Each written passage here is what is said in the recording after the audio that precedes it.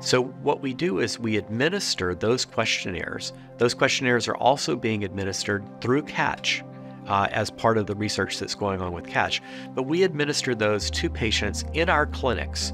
They are able to complete those questionnaires on their iPhone, on an iPad, or um, in, in the clinic at a computer terminal. There are multiple ways to complete that information. But what happens is that information becomes immediately available to the physician to go over that information with the patient at the time of the clinical encounter.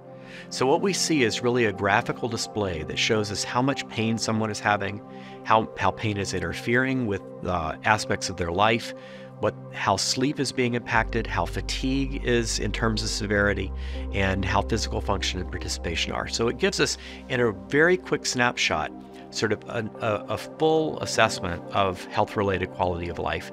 And it allows us to use that information in conversations with patients to talk about what is actually going on today for you.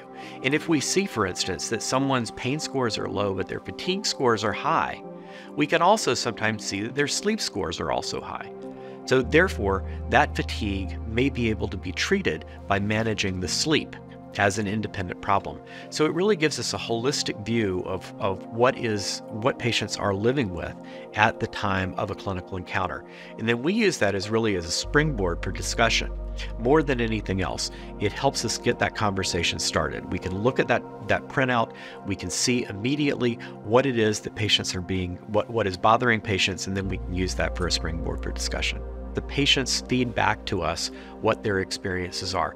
And what patients say is that even if the doctors are not necessarily asking or addressing those things directly, the process of completing the questionnaires begins to get the patient thinking about the parts of their life that are impacted.